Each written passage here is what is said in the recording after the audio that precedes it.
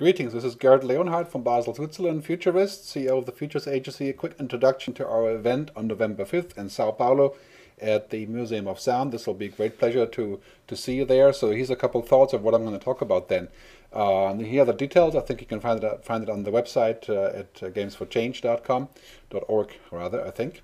But in any case, I hope to see you there. And my work as a futurist is about foresight. It's not about prediction. So what I'm going to share with you our foresights developed about um, uh, looking into the topics of my work. They're not actually predictions, and uh, I don't really like the term predictions. I prefer to call this a foresight work, and I hope I can share some foresights with you then. Um, my latest, my next book is going to be called uh, From Ego to Eco, and part of the conversation that we're going to have this event is about this meme from Ego to Eco becoming a global meme, and, and this is a good thing. But uh, the topic is kind of difficult, actually, when you think about the ramifications of it, that business as we know it is broken, and that we have to reboot how we do stuff. Uh, do stuff in a very, very basic way. Uh, global warming, as Al Gore has said, you know, it's clearly the biggest market failure in history. And so we have to ask a question, can this problem be solved by uh, free market capitalism, by turbo capitalism, as we as we call it uh, in America. You know, I live in Switzerland. I'm not American, but I spend a lot of time there. So global warming is a big issue, but not only that, but also in media we have the issues. I mean, basically, as as um, John Elkington says in his book, The Zeronauts, which you can see here, it's a great book I recommend. It says a world of 9 billion people will demand, funda will demand fundamental different changes in our mindsets and uh, the way we look at stuff. And this is the discussion that we're going to have at this event. How can we shift from an ego system, from an economy to an economy? I think this is the crucial question. Uh, you know, if you're looking at what, what's happening with our, with our thought patterns being sort of aligned with industrial things and industrial era things like perpetual growth and profits, and, and now all of a sudden the internet and of course the environment is forcing us to think of this more of an ecosystem, uh, a connected, interdependent system. And this may probably uh, mean the rebooting of capitalism, uh, not in the sense of, of the alternative, which may be some people think about socialism, but rebooting capitalism in a sort of natural way, what people call natural capitalism or sustainable capitalism, if, if that even is feasible. I mean, what we're seeing in Brazil, of course, is that many symptoms of uh, that capitalism are rampant also in Brazil, but but uh, all over the world, including deforestation and and the selling of natural resources. So responsible capitalism, natural capitalism. How do we do this? I think basically business as usual is dead, and that uh, even as the uh, the UN Gen Secretary General says, Ban Ki-moon, the old model of economic development and growth is a suicide pact a global suicide pact, and this has quite clearly become the truth as David Korten reinforces over at the YES magazine, is basically uh, opposed to the biosphere and it's a suicide economy. So how do we build a new economy? What is the question? Uh, and and uh, Tim O'Reilly as a publisher has a great example, says if you take out more than you put in, the ecosystem eventually fails. And, and this is very true about record labels, as you can see here. That ecosystem is completely dysfunctional. And it's true about oil, when you're talking about oil companies and what people do with energy resources. I think we're moving from independence to interdependence. There's a great movie you have to watch by Tim, Tim, uh, Tiffany Shlain called Connected, the movie. And interdependence means creating an ecosystem that works for all of the parties or it does not work at all. Uh, like I think YouTube versus MTV shows the example that I'm talking about here, uh, even though YouTube is far from being the perfect interdependent ecosystem uh, at this point. But it, it's pointing in the right direction as opposed to centralized television.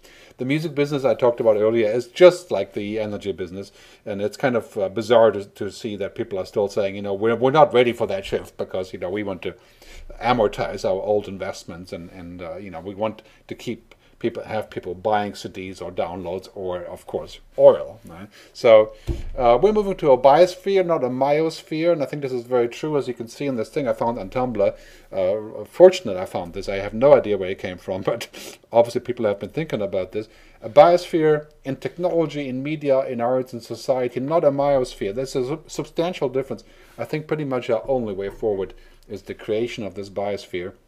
And to my view, Brazil could take a leadership position in this, uh, in creating a, a, a collective and, and, a commons approach that we're seeing. I mean, clearly, we're going to need new energy ecosystems, new money ecosystems, new media ecosystems, and a new ecosystem for education. That's based on on, uh, on zero cost of distribution that the internet affords us, but also uh, creating an ecosystem of values. And this is very very important. You know, to look at this long list of what the ego from eco is going to entail: distributed media, real time invented anywhere, crowdsourcing, shared open hyper collaboration. It's about nodes and not pyramids. I mean, all these things we'll talk about the event. Yeah, obviously, we'll be there for two days. Just kidding. Um, but the limitations of the industrial age of stuff, uh, they're gone now. I mean, we don't actually need physical products anymore for media. This is very good news for creators, in my view. But of course, now we have to think about what it actually means to, to live in the age of ubiquity, not the age of scarcity as the little fish is looking for the bait, you know, that is distribution. That is going to radically change. And I, th I think this is so true also for energy. Right? Distributed energy is the way forward. The future of business is a decline in empires and the rise of networks, and that is inevitable. I mean, not not just with Facebook, but you know, all businesses, especially B two B. For example, LinkedIn is becoming the the primary place of hiring now. It's going to be mind-boggling uh, the decline of empires and the rise of networks, and that is uh, something I think that we're seeing everywhere. Behavior change in mobile technologies, using what, what's called the uh, the personal tracking and the uh, uh, the idea of, of creating a quantified self and so on. I mean, this is going to be very interesting. Social media is enabling us to interconnect this way, especially in Brazil, which is crazy about Twitter. I think number two on Twitter, or number one even on Twitter. Uh, I think we're sort of on our way to a global brain, finding ways to recycle and activism on social networks and sharing energy information. And as Zuckerberg says, you know, his goal is a more and open and connected society will create a stronger economy. But also, I think you know, uh, emphasis would be, in my view, on a better economy and a more equal economy. I mean, you're looking at all the stuff that's happening around the world, how people are sharing tools, and you know, we're we're clearly shifting from this place of where everything was concentrated on profit and growth and industry and industrial, you know, to the next level of interconnecting and creating a valuable ecosystem. And this, in my view, could be the role for Brazil in the world because clearly that's not going to happen in America as we could see the current election debates, you know, where climate change isn't even mentioned. I mean, this is appalling, isn't it, in my view. But also in Europe, you know, where we are completely stuck with regulation and, and with trying to uh, change the system to go forward. Uh, energy revolution will follow the communication revolution, as, as Jeremy Rifkin says in his great book, The Third Industrial Revolution.